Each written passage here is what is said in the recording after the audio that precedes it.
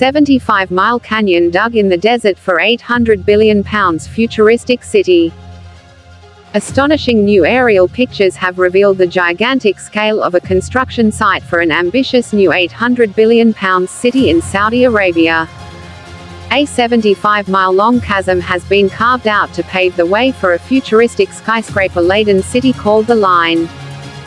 If completed, the line will be part of the vast desert complex of Neom and feature huge angled glass structures over an artificial river, an octagonal floating port and even a synthetic ski resort. The mega sci-fi project, launched by Crown Prince Mohammed bin Salman, will also come with a swimming lane for commuters, as well as robots and AI to serve future residents. Giles Pendleton, COO for The Line, shared the remarkable images of the site from above in response to naysayers, who doubt the grand plans will ever become a reality. Images show huge excavation lines stretching for miles etched into the landscape where the line is set to be built.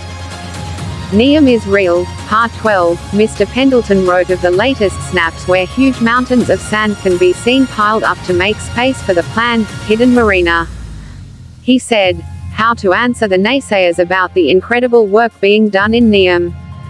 Show a cross-section of the world's largest building site from the mountains to the sea.